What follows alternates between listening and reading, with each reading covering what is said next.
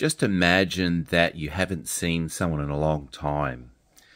And when you do see them, you don't talk to each other. You just act as though the other person doesn't even exist.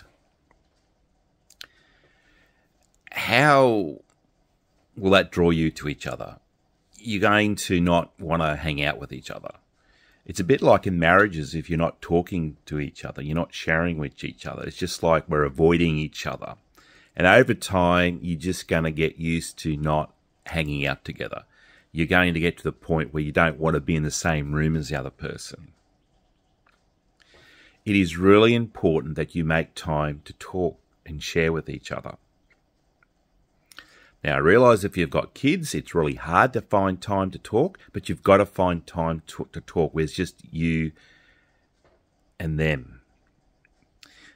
Because that will stop distance um, growing between you. And once that distance gets too big, it's really hard to to get to to get close again.